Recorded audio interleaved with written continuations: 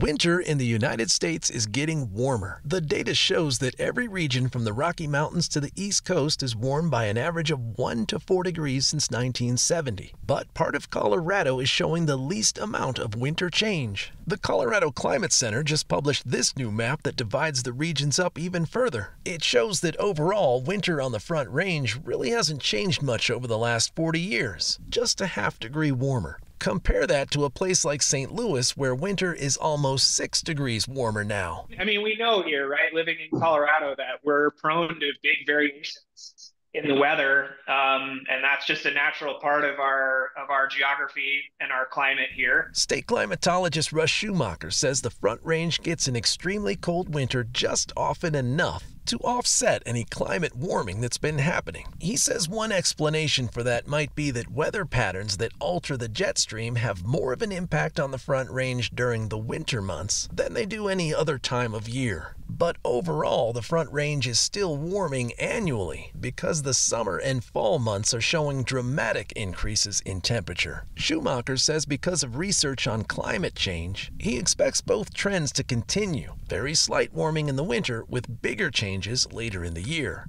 You know, as we put heat into the system, in, into the Earth system, that it's going to continue to get warmer. Now, how that plays out year to year can be very complicated, but say decade to decade, um, that's where there's very high confidence that that trend is going to continue to go upward. Meteorologist Cory Reppenhagen, 9 News.